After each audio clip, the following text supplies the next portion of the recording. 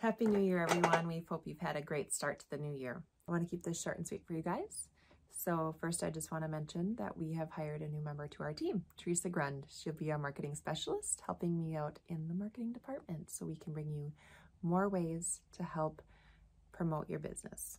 I also want to mention that we have our 2024 visitor guides in now, so please stop in and grab some for your business.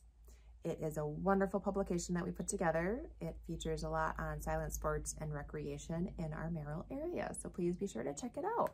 We have a wonderful business after hours coming up. It is sponsored by Hugo's and it will be at Sawmill and it is on February 8th, so we hope to see you there. We have new board chair Andrew Polzine taking over his reign for the year at our board meeting tomorrow morning, so please thank Andrew for his dedication to our team. We have Iowa and Green Bay sports shows coming up this weekend.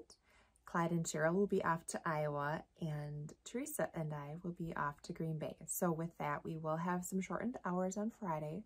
So please be sure to be in by noon on Friday before we close for the weekend if you need anything from us. So with that, please have a wonderful rest of your month and we will see you in February.